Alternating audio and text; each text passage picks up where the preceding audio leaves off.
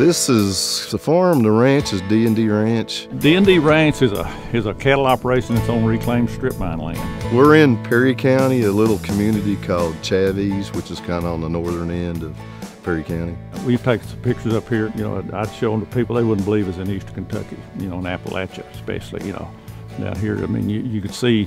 You know, you don't see hardly a tree. You see grass. You know, cows scattered out there. It looks like it's a mile. You know. But it's a home of the East Kentucky Heifer Development Program, which is in its 17th year. We pasture about 800 to 1,000 acres of reclaimed mine land. What makes this one so unique is the heifers are actually brought here when they're weaned off their mother and they remain here and throughout the whole development process. And then the owner, consigner, they retain ownership of them all the way through this.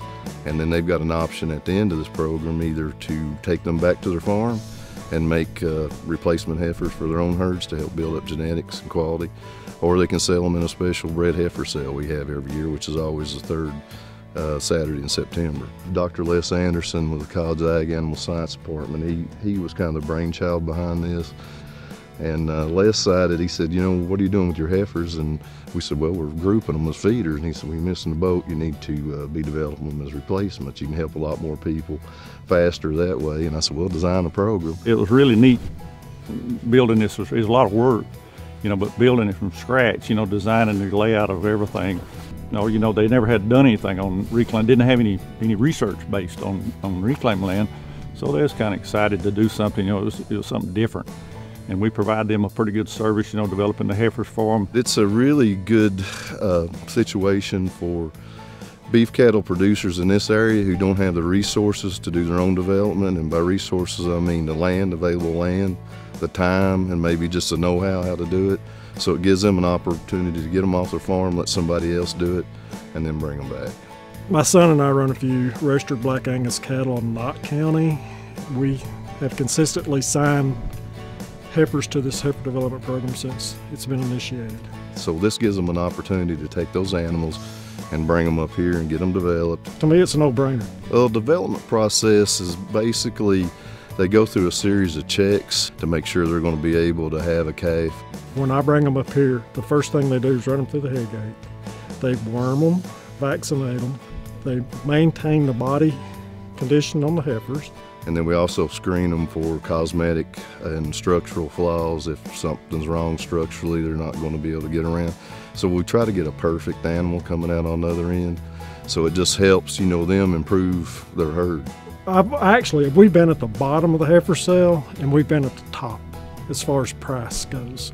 So we improved overall quality of our heifers. Just seeing the difference in the prices our heifer cattle bring at the market and saying that is my heifer instead of sort of backing over in the corner saying, I hope she brings something today.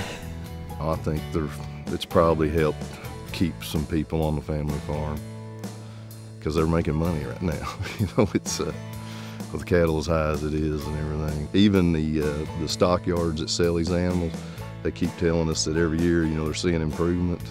The sale in itself is kind of secondary. The big part of this project was just to develop heifers and try to improve genetics here in East Kentucky.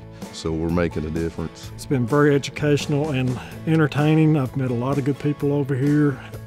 They have taught me a lot about cattle. Of course, they get a lot of good information. I mean, that's they're a source of a lot of, I mean, things I want to know.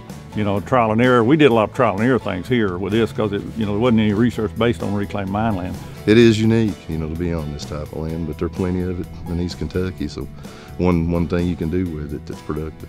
I think about it sometimes about uh, what we do with this ground. You know, what it does, what it, what we're able to produce, the kind of cattle we do and raise here, and you know, it just it's still hard for me to believe it it's hard to imagine if you look at this, there was nothing here, no fence, no nothing, no structures, just strip mine land, that's it, just lay the land. You know, I guess I've been here so long, I kind of take it for granted, but still it's a, it's a, it just still amazes me, you know, how productive this stuff is.